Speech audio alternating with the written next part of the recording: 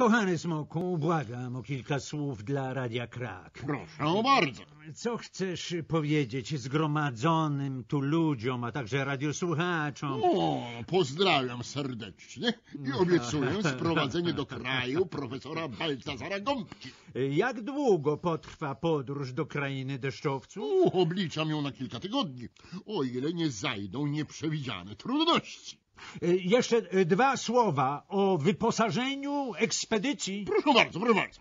Wszyscy jesteśmy zaopatrzeni w nieprzemakalne kombinezony. Aha, aha. Ponadto mamy akwalungi, O! czyli przyrządy do swobodnego nurkowania. Aha. Ubrania z tak zwanej gumy piankowej, a także kalosze, parasole i duży zapas chusteczek do nosa.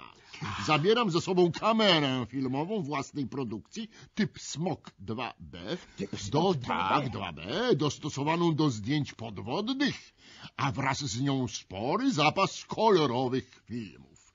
Doktor Kojot będzie dokonywał nagrań na przenośnym magnetofonie, zaś drogi mistrz Bartolini będzie sprawował opiekę nad gumową wanną.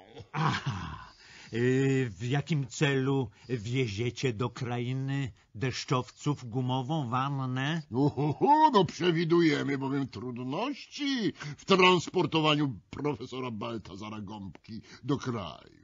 Bierzemy pod uwagę, że może zechce jechać w wannie wypełnionej deszczówką, to też pragniemy uniknąć wszelkich niespodzianek. A, a, a, a w jaki sposób będziecie utrzymywać łączność z krajem? O, przy pomocy nadajnika krótkofalowego, ulepszonego przeze mnie w zeszłym roku.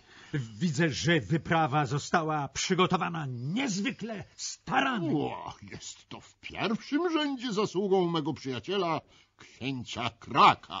A więc życzymy panom szczęśliwej drogi, do rychłego zobaczenia, Do i do usłyszenia. Do usłyszenia.